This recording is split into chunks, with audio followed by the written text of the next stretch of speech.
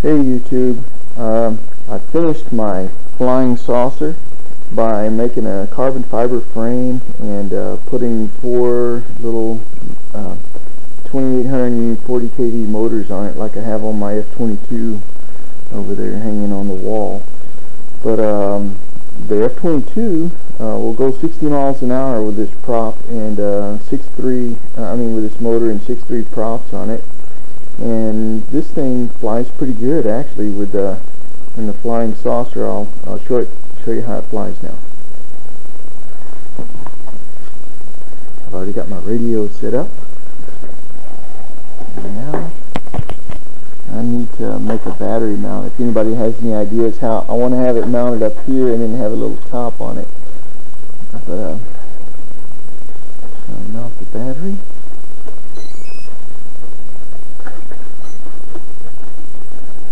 set it there for now. On the board. And it's on. Here we go.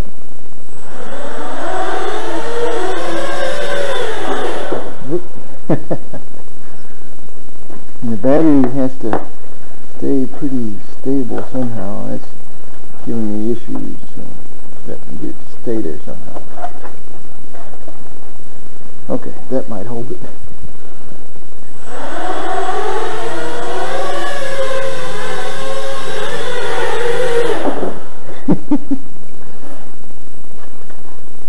yeah, let me see.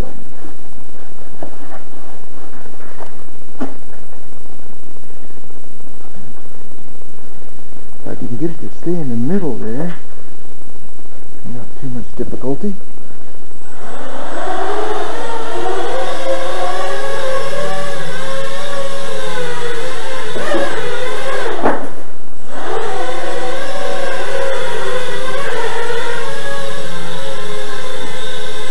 and there it is. Flying saucer. When it gets away from the ground effect, it flies a lot better. Now I'll bring it down. it flies pretty good. I can't really maiden it today because it's raining outside. But I'll show you what happens. This is what I really like is this part right here you can take the frame off and you've got a nice little aerobatic quad that goes with it. You could hear how the motors were whining to lift the UFO but when it's by itself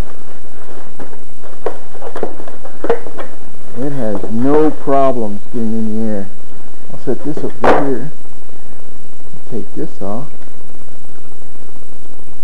You got two things in one. Now I've got a little micro or a small quadcopter that will hover at about one quarter throttle and it has got lots and lots of power for what it is. It is you'll see in just a moment. Cycle my radio so my receiver doesn't flash. Okay. Plug it in.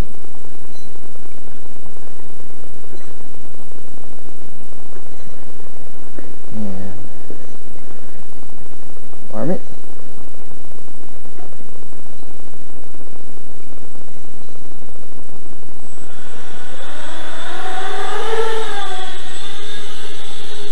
and it flies really nice.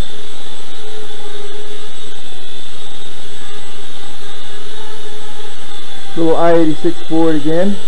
I just like these boards because they're so uh, so easy to set up and fly. And this thing should be super fast because with just about a quarter throttle it'll hover. Oops, little glitch. Alright.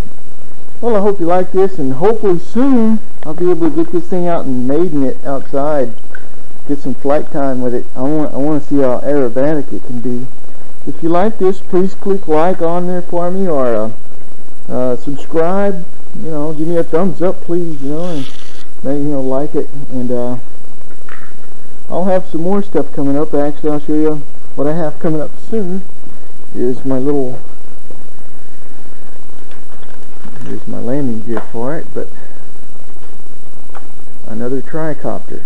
This one should be an aerobatic one. I've almost got it complete. I should have it done tonight and maybe get some video for it soon. But it compacts down to a very small size and opens up like this. Okay, until next time, and hopefully this will be the next one you'll see. Uh, take care and, and uh, happy flying.